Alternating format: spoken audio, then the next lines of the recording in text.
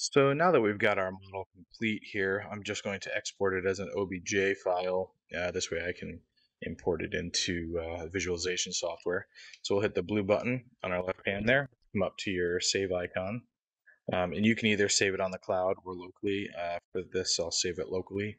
Um, and then you'll come up to the export button. That's this little up arrow here. Click it. Um, for OBJ, I'm going to uh, leave it on millimeters. I'm going to change my Y or my Z axis to up, um, and I'll leave the mirror plane on YZ. Uh, I'll export single-sided surfaces. Uh, this will help uh, later on when we uh, start baking shadows.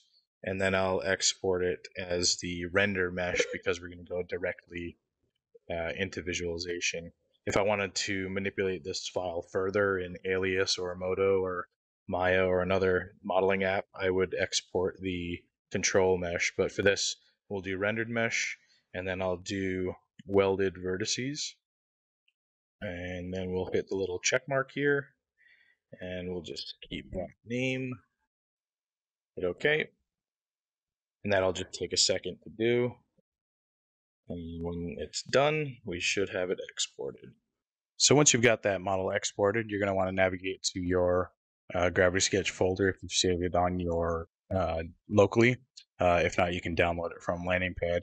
Uh, but since I downloaded it locally, I'm going to go to my exported sketches folder, click on Gravity Sketch Demo or whatever you uh, saved it as, exported as, right click, and then I will extract.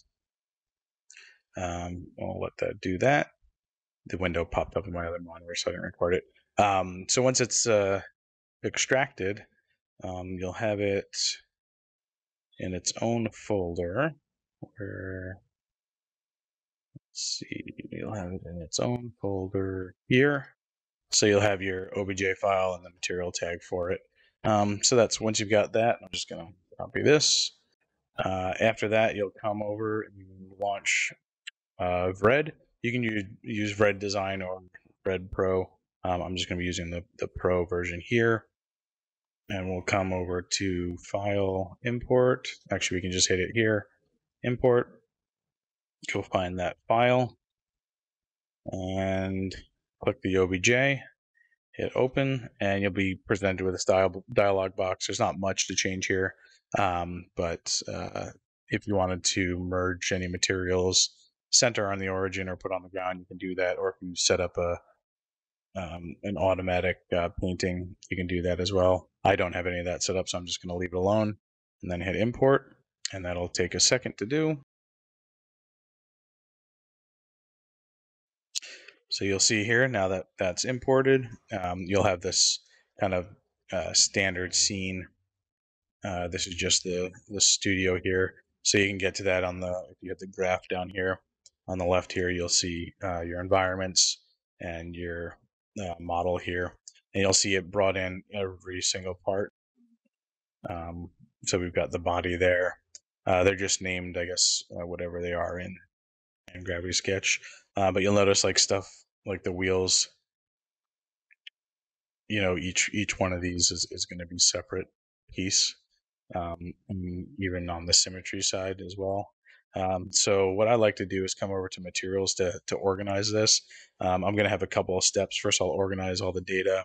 Then I'll check all the uh, normals or all, all the, the, the, face directions. Uh, and then I'll bake shadows, apply materials, and then I'll show you how to set up a basic scene to use uh, in VR. So if you come over to materials here, you'll get this little window. Uh, this pretty much is all the uh, materials that are in the scene. So that's why we we applied them to each model or each part separately and made sure each part had its own material because that's how you're going to easily come through and sort this out. Um, actually, one thing I'm going to do is check the normals right now because if I start combining things, I might run into an issue. So we'll hit visualization, come down to vertex face normal rendering, and this will show you your uh, the normal direction or the face direction of your model. So anything purple is backwards. So what I'm going to do is hold Alt and left click or right click. Did it change? I wonder if it changed. Um, we'll do Alt right click, and that will flip the normals.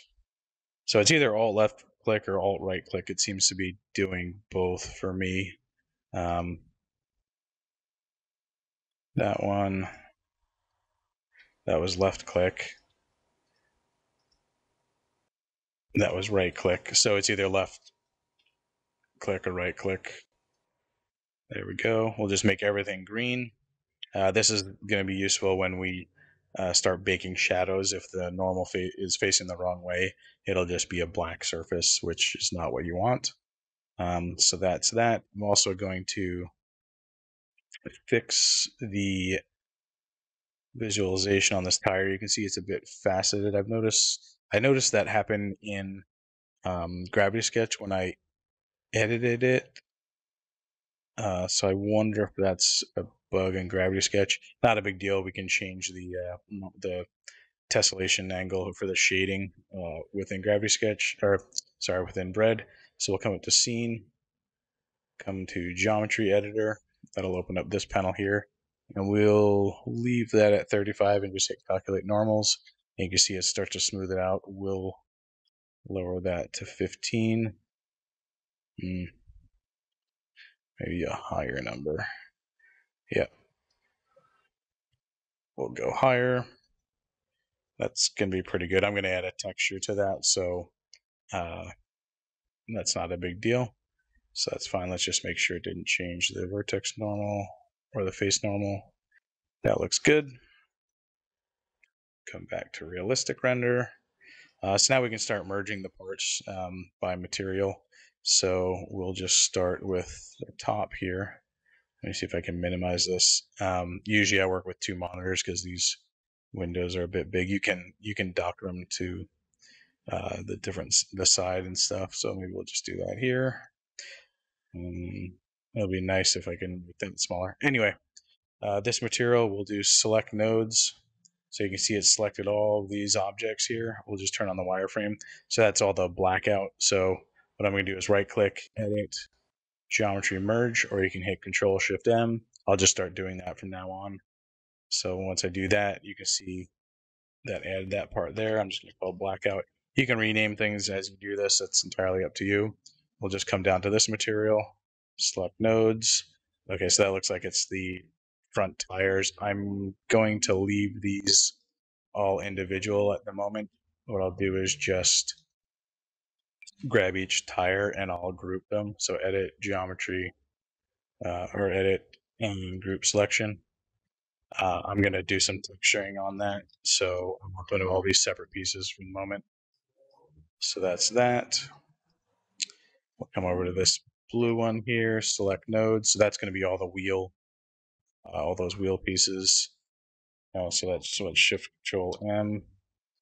We'll do this one. Select nodes. That's all the underbody. That's already its its own piece. Select node. Uh, okay, it looks like those tires and the glass have the same material. That's okay. I'll just grab these pieces individually. Shift Control M. Uh, I'm just going to name this stuff.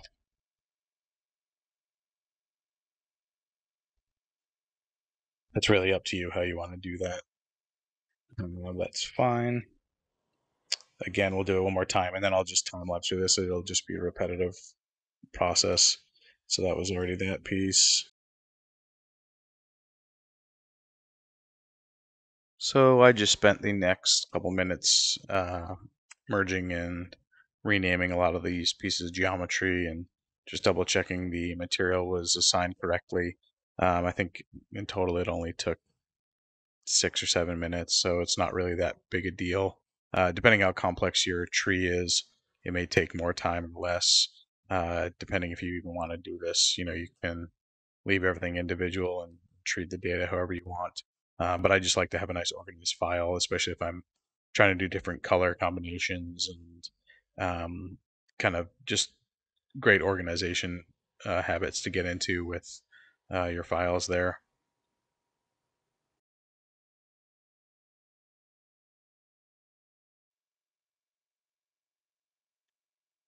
Great, so now I've got this organized. That only took me uh, I don't know, like seven minutes. I think I time lapsed it, but uh, it didn't take that much time. There's not a lot of parts here. Now you've got it. Now we've got this all separated, so we can start either tuning these. We can make our own materials from these, or we can just use the uh, built-in asset library. Uh, I'll just show you where that is. I'm gonna just import a file that I have already made that's got materials um, that I, I'm gonna use for this. But to access the built-in materials, you just come down here to the bottom, right click and hit Asset Manager.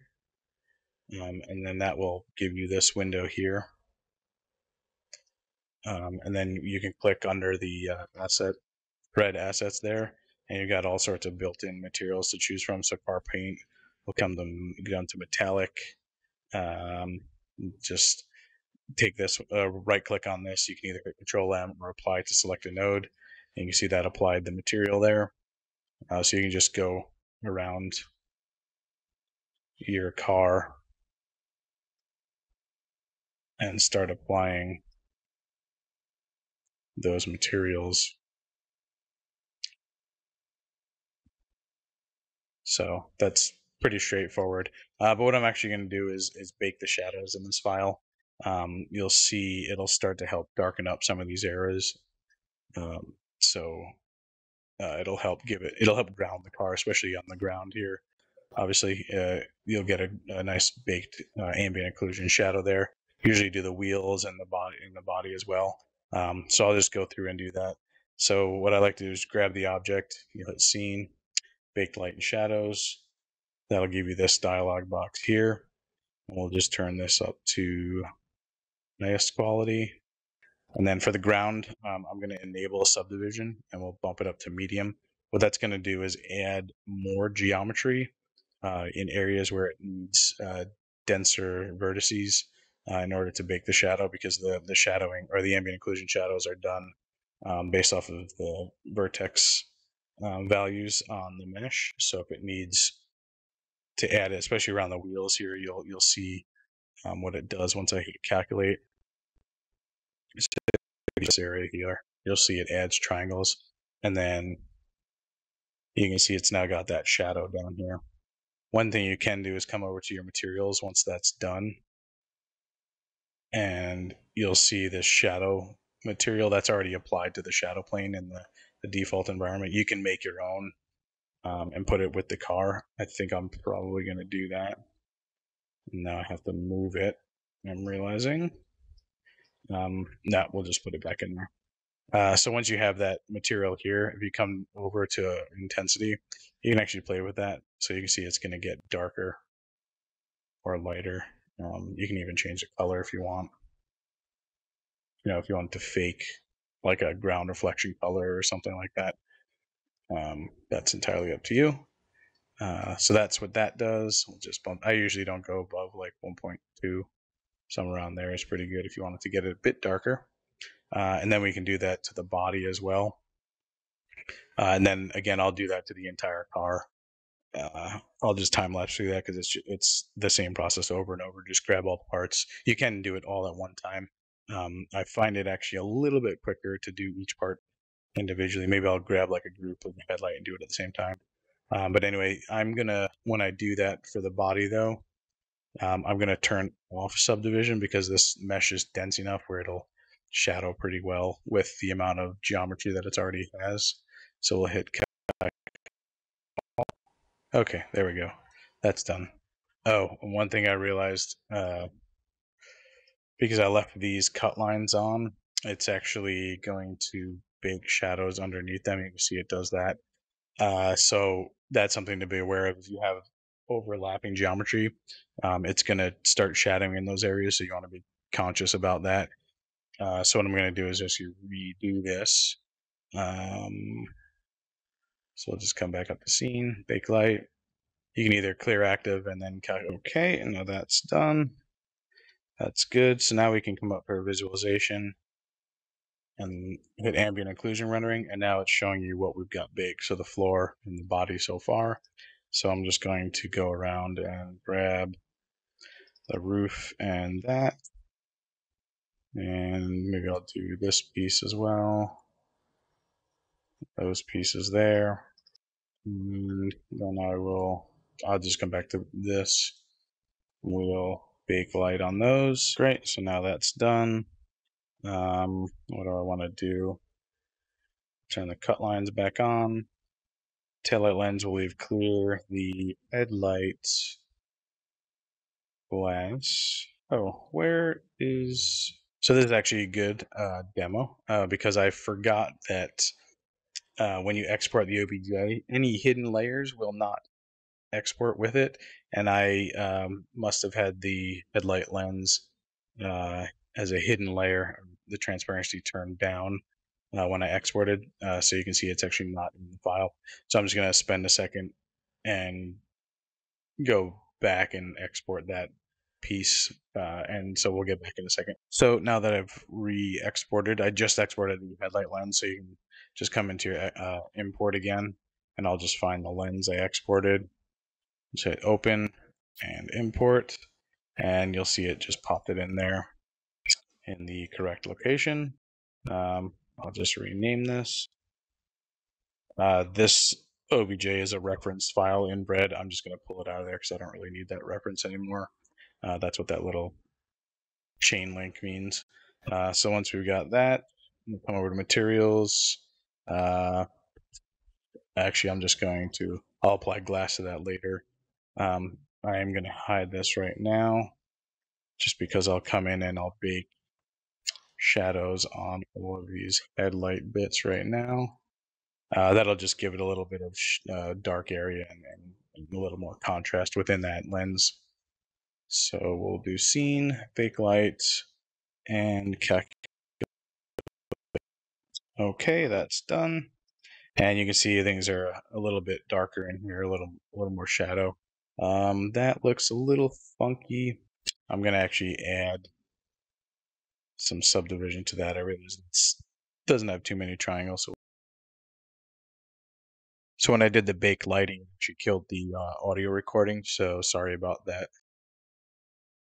Anyway, that's that. That's headlight lens. Uh, what I'm gonna do is clean up the material list uh, because I'm gonna I'm gonna open up another file that I have and, and just import this into it because I've got some materials and, and environments and stuff already made. So I'll just save this as save. So then that's saved somewhere. Now I'm just going to open up this recent file I had. So this is the file that I had previously made.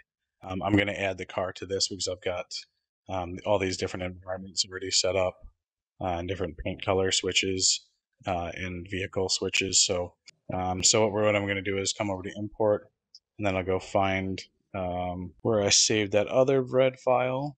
Here's demo, this one. Then we'll hit import or open. Um, what I'm going to do is I'll use the environment from this scene. So I'll leave that alone. I don't have any sub references. That's fine. I'll just hit import and we'll see the car coming here. It's probably going to be rotated. Yep, rotated the wrong way. That's okay. So now I've got this the car that I just prepped um, before in this scene, and I'll just transform it to fit uh, this the orientation of this car and everything. So I'll just rotate it 90. Oh no, that's the height. Sorry. I'll just pull that down till it just cuts through the ground there. We'll give the uh, tires a little flat and then I'll rotate it 90 degrees and then we'll just move it back. You can you can either use this dialog box or you can hit shift W and then hold shift and grab the widget to move. Um, I think that's gonna be okay.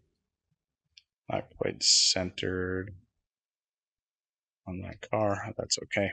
I probably moved those other cars so they're not exactly in the right spot, but that's okay uh, this is here, and then I'm going to drag it. I already have this geometry switch made, so um, I'll just take this file, pull it in there. So now when I cycle through, oops, cycle through these vehicles, you'll see it'll pop up at the end there. So that's good. That was the environment.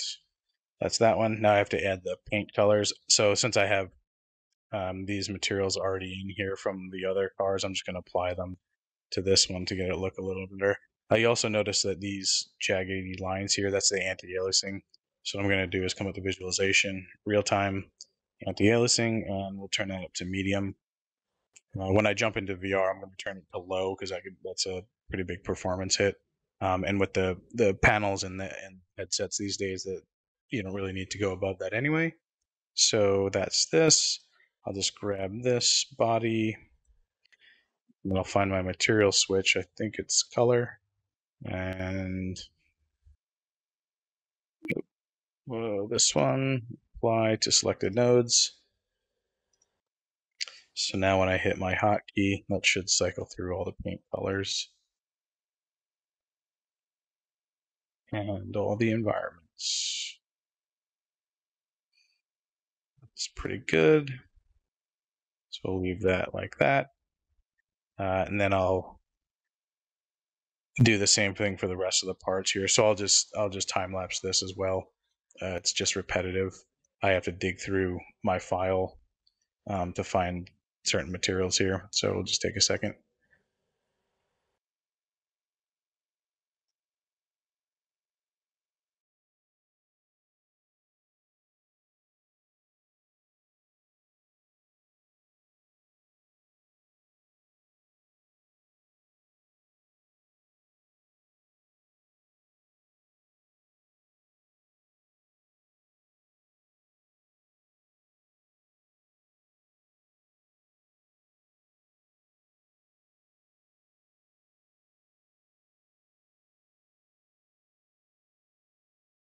Um, and now there's actually uh, a built-in tire that I like, a tire texture that I like um, in the asset manager. Oops. So right click, asset manager, come down to miscellaneous. I'm going to select the object there. Miscellaneous, we'll come down to tire. Um, Let's actually do it on this side. I noticed the problem with it coming on the wrong way on the tire. Right click, apply to selected node. You'll see that it, it kind of mapped it oddly. That's okay. We'll come over to material. Click that and it'll select the tire. Then we'll right click, or sorry, we'll modify. Then we'll come over to texture settings, get value from object. And you can see that that mapped it to that tire pretty well. Uh, you can also play with the blend position of the tread. You'll see that move there. Uh, you can also change the size. I think it's this one. Oh, that's the tread pattern. This is the profile. So, oh, scale marking. Sorry, that's what I'm looking for. So you can see that that number there. We'll make it like one. See what that is. Nope. What was it? 1.27. Make it like 1.3. Yeah. So that brings it a little bit more onto the side of the, the tire there. Um, that's pretty good. Uh, so what we'll do is take that texture, hit Control C, Control V. You'll see it made another one. So I'll apply to selected node and then get value. And then we'll change that, was it 1.3? So now you can see we've got tires on both sides of that. Uh, and then we'll come over on this side, do that four times, copy and paste that again, grab our tire, apply, get value. So that's the car painted there. Uh, let's actually bake the shadow onto the tires. I completely forgot about that. So we'll come up to scene, bake light I'm going to turn off subdivision. We'll just see what it looks like. Thing. There we go. Now they're a little bit darker. Um, what I'm going to do is just edit this wheel to be a little bit darker. Um, yeah, something like that. It's not too bad. So now we've got the model all painted here uh, and some of the textures applied and it's pretty much a, a, rough overview of how I how I set my files up um, to be looked at in Vred. Now this is again this is all real time. Um, so it's easy to, to spin around. It's a little more artistic in its um, in its look and feel, uh, but I think it's good to uh, do this as like a, maybe a sketch underlay or something like that. Um, if you wanted to go further, you could turn on ray tracing. Um, and that'll just take a second, and then get more realistic um, shadows and reflections and stuff like that. You know, tune the materials so they they fit that better. Uh, but for this, I'm leaving it all in in in real time um, because we can come up and uh, view it in VR. Uh, but there's a couple things I want to quickly just touch on. Uh, so these switches that I've made here, uh, this car one, um, so I can flip through the different vehicles I have in a scene. So if you want to switch between different geometry sets, uh, you can do that. Um, here, uh, you can also do the same thing with the paint switch. I've got that set up as well, so you can toggle between all those colors um, and the environments as well.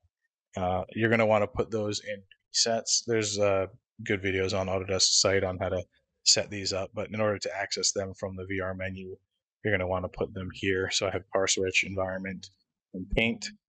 Uh, that way, when you're in VR, you'll have them under here under variant sets. This is the menu that's in the headset. Um, so you can click these from the menu uh, to toggle between all that. So we'll just get back to our car. We'll turn this off. Um, yep.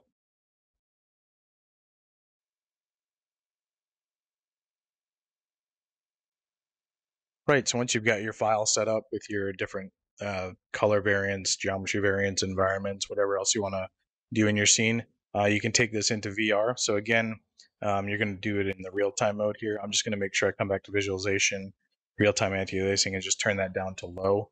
Uh, get depending on your uh, hardware setup in your computer, uh, that'll be performance hit or not. Um, I've found low works pretty well for everything I need it to.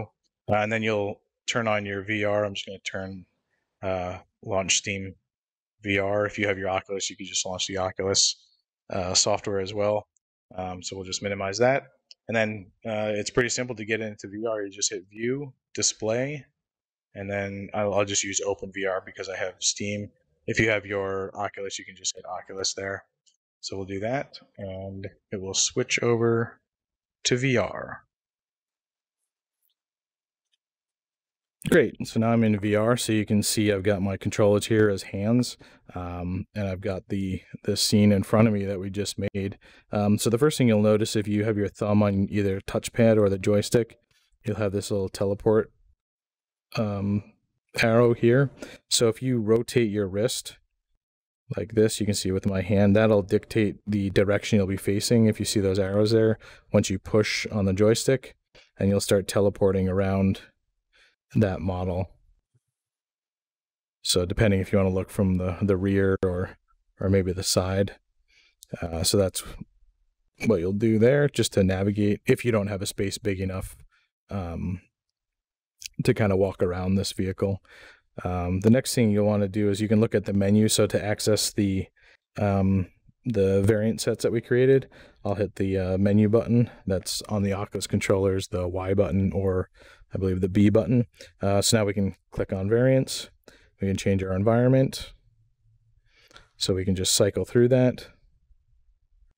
Get a good look at the car. Maybe we'll go to the beach, go to the airport, uh, Grand Theft Auto, airfield. Uh, don't know where this is, just the desert. You know, so you can put whatever HDR environments you want in there. I believe this the this is the uh, this is a newer one I found recently that's pretty nice. I believe it's London. I could be wrong, but I'm pretty sure that's London. Anyway, and then we can flip through all the paint colors just by tapping this menu. Um, we'll get to that. I'm just going to stand up here. I've been sitting um, so we can jump around the, the vehicle, um, look at it from any which way. Let's get to that blue. That's pretty nice. Red. Uh, and then we can also switch between the different geometries. So this was the SR5 I made. Uh, this was another sports car. Again, these all share the same variant for the paint colors, so uh, that's how I'll switch between that. Go to this one. So this is up to you. Depending what you have in your file, you'll be able to switch all these. Uh, again, this is the car I just made, so we can really evaluate it in all different lighting. So this is that the studio light that's built in. We got another winding road, um, nighttime in Munich, I believe. Uh, parking garage. Really, this is up to you. Uh, just you know, evaluate different lighting scenarios, and um, this is how you spend your time in VR, I guess. So this is a good way to look at it like full circle. This was all created in VR, and now I can um, evaluate the model itself uh, using virtual reality as well. Uh, so that's the end of this series. Um, I hope this was informative. You know, I hope you were able to gain a lot of insight into my design process and and how I use Gravity Sketch uh, to create these quick kind of sketch models. In total, this took about I'd say four hours from you know doing the initial sketch lines all the way through the full um, polygon model, and then even to get it into Vred here uh, to visualize it and look at it. So, yep, that's the end of this series. Uh, please leave your comments below if you want to know anything else. Maybe I'll put out some shorter videos uh, explaining a few things more in depth. Uh, again, I hope you enjoyed, and yep, we'll see you soon.